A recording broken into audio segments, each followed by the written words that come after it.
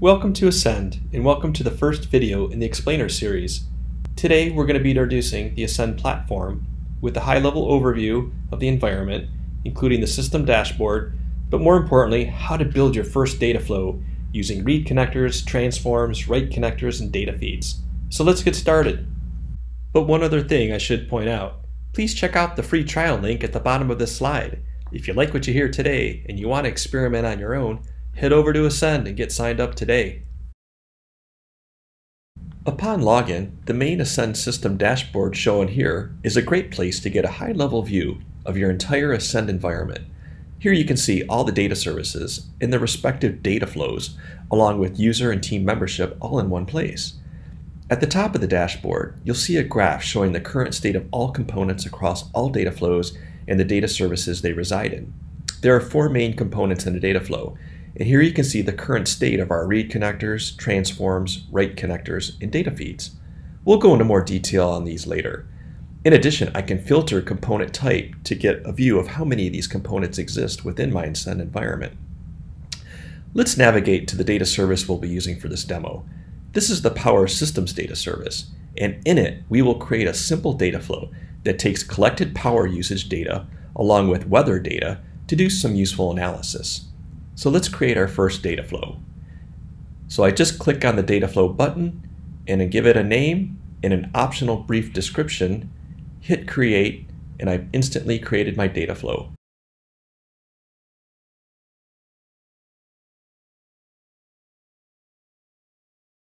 What you see here is what we refer to as the canvas, and it's this screen that you'll be constructing your data flow. So let's jump in. Here's a quick overview of the menus and options on the data flow screen. The dashboard icon will take you back to the system dashboard. The data service menu will show you a list of all data services that you can quickly jump to along with being able to manage various settings and permissions. The data flow menu allows settings and permission configuration for this data flow or for others in this data service.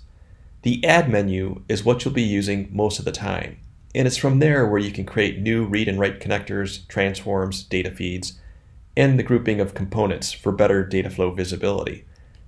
The import and export allows saving and exporting versions of your data flow, so it can be copied and redeployed in a different data service or for versioning.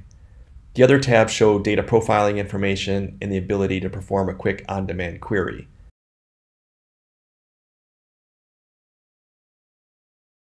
On the far right-hand side of the screen, you'll see a link to our online docs, complete with a public discussion board and a drop-down menu underneath your login name for other settings.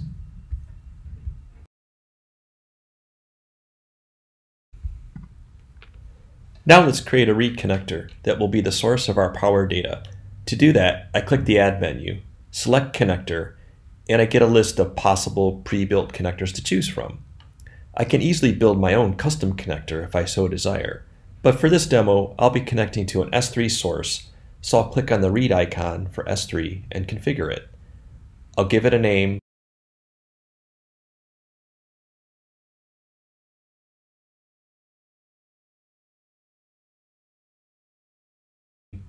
I'll select the S3 bucket it resides in.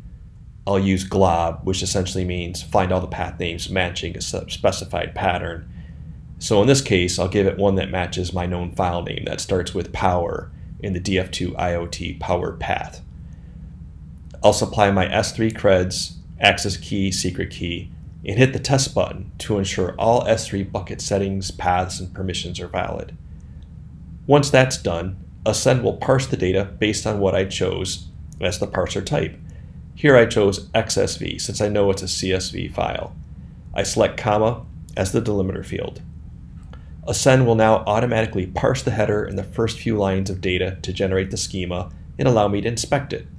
I can also preview the schema information and just make sure nothing looks wrong or needs to be changed. As I scroll through here, I do notice that Kitchen 38 column has the wrong type and should be a float, so I'll correct that up front. By default, if the schema contains some fields that look like non-string data, like dates, numbers, we will try to automatically convert them and generate warnings for values we can't convert. You can actually disable this warning for all non-string columns. So we just ingest the data with default values of null, where we can't convert, allowing you to fix things later in a downstream transform. Next, I will set a refresh schedule, which determines how often Ascend will check for new data. I'll choose the system default to one hour, but I can go as granular as one minute.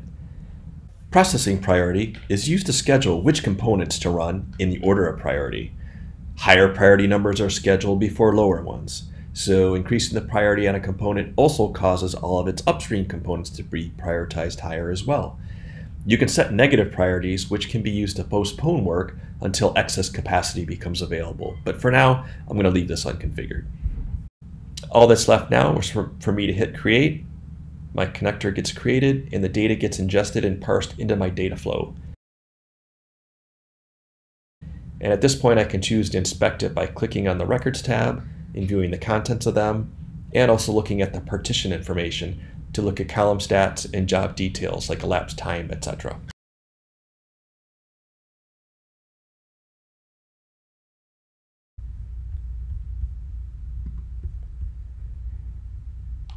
Now let's do some interesting analysis with our power data. Let's create a SQL transform that returns the average power usage per month and group by month in descending order by usage. But first, let me show you a neat trick using a feature called Workspaces. Workspaces allows you to pin any component to the side of the screen so you can easily refer to it. This can be especially handy when you're in the middle of writing some SQL in the editor and you need to refer to a column name in a source read connector, for example. So let's go ahead and create our first transform. To do this, I click on the Add menu select transform, give my new transform a name,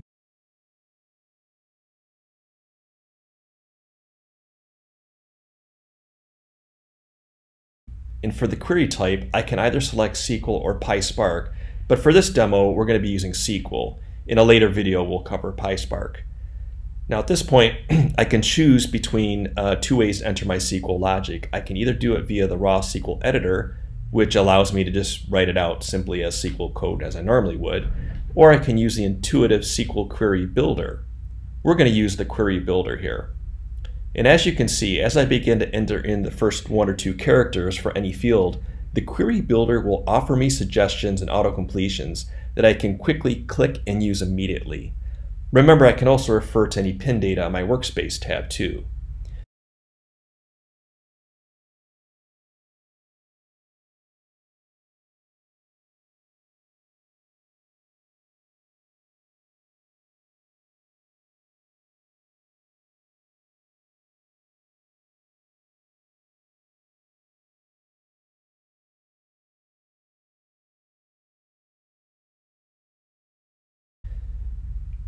I can also set a priority here, but won't be doing it at this time.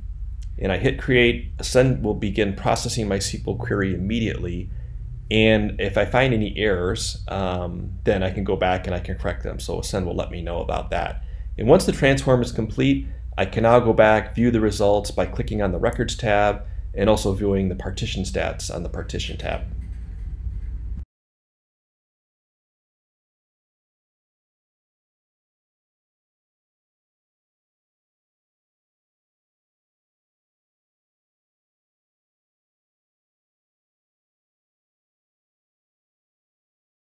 Okay, now let's write those results out to a place where others can get to it. And so what we're going to do is we're going to create a write connector that will create a destination file which contains the result of the transform that I just created. And for this, I'm going to create it in S3 using the same bucket but a different path. To do that, I'll click Add um, on the menu, select Connector, again, get the list of possible pre-built write connectors to choose from. I'll be connecting to an S3 source, so I'll click on the write icon for S3 and configure it. I'll give it a name, select the S3 bucket it resides in, enter a prefix, in this case df2-iot slash powersys. This essentially defines the, the path name for the file. Um, and then I'll specify a pattern uh, for the file name that it's actually going to write out, starting with uh, the word power usage and a suffix of CSV. And then from there, uh, I'm going to deselect the partition output files because I don't want a separate file per partition. Uh, again, I'll supply my S3 creds, access key, secret key, hit the test button to ensure all my S3 bucket settings, paths, and permissions are valid. Once that's done, I'll select a format to write the data out as. In this case, I know it's CSV, so I'll choose XSV. Uh, select comma as the delimiter and uh, CRLF as the line terminator. Uh, I'll indicate that the header row has uh, contains column names, and um, then the last thing is I can determine or set the uh, the, the, type of compression. Uh, I'm just going to leave it uncompressed for now, and like before, I'll leave the uh, priority unset. I'll hit create and let Ascend write the file out to S3. Awesome. Now you've seen a very simple example of a data flow which contains a read connector, a SQL transform, and a write connector.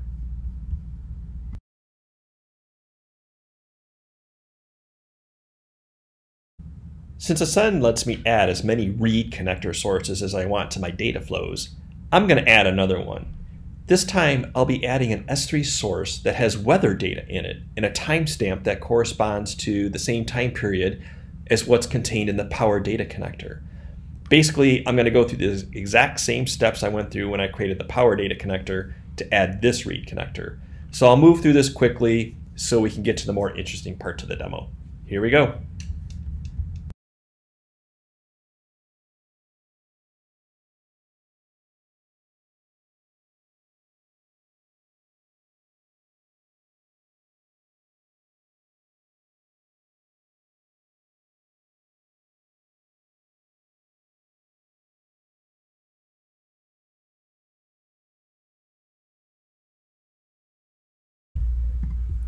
Okay, now we'll take the data from both the weather and the power data sources and join them together via transform, with date being the join key.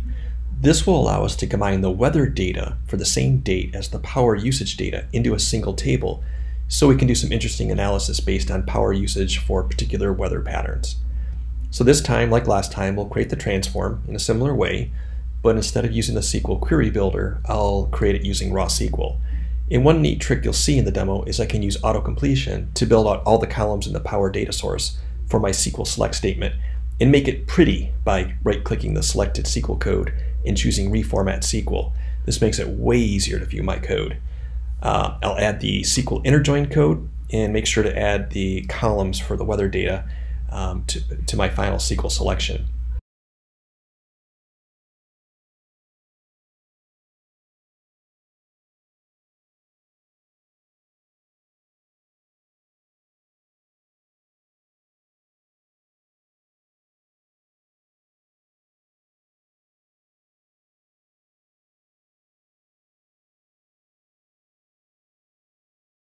Hit create and Ascend begins processing my SQL query immediately. I can then view my results in the records tab of the transform and where I'll be able to see the weather related columns that I had selected earlier.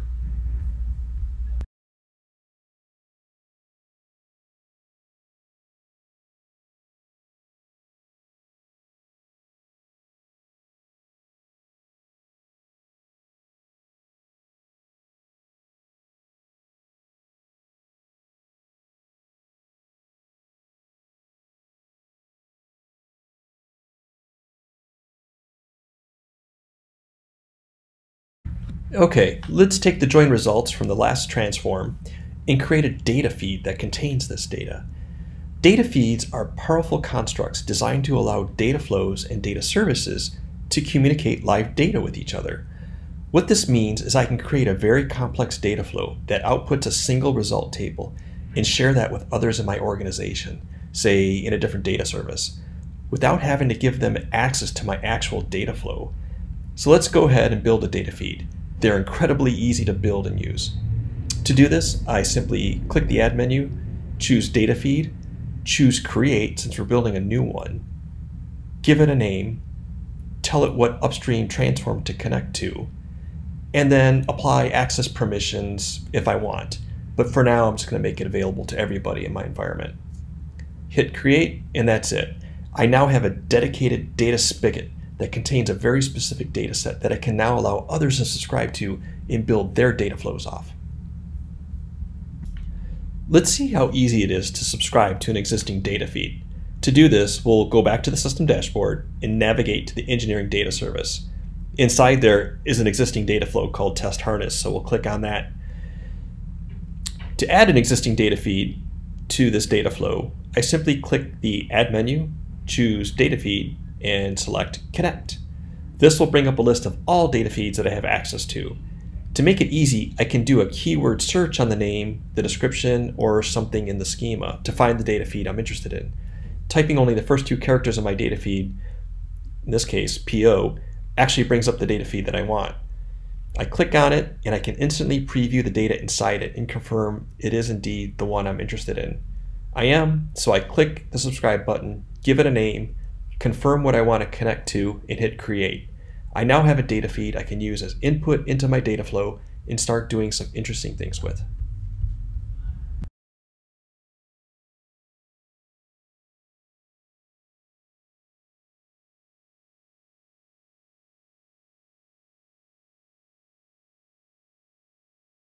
All right, at this point, we're going to create one last transform on our newly connected data feed to show the power of how you can use them to power your data flows. For this one, we'll create the transform a little bit differently. We're going to right click on the data feed itself and select the create new transform from the menu presented there. And once I do this, Ascend will automatically name it for me as a convenience. I can change it if I want and even fill out enough of the basic raw SQL so that I can get a, a, a quick select of all the columns uh, for my results. Um, and at this point, I can just add more SQL logic to this, to what already exists, and continue, you know, create it, and then continue building my data flows going forward.